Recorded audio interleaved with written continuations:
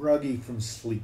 What is it supposed to mean, and what are we here for when the morning light is beginning to bruise the horizon in its attempt to escape the egg of night?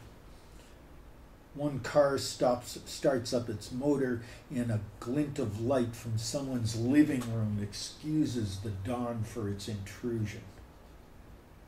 Dreams are beginning to retreat or regather for one last onslaught on the brain before the radio's preset announcement brings in a rational world far more insane than the unedged world of night.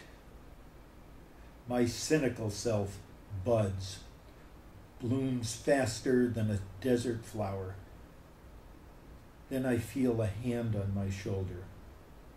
And there are eyes there too, and a sweet warm scent that calms me and opens the morning like a gift presented to a child too young to open it for himself.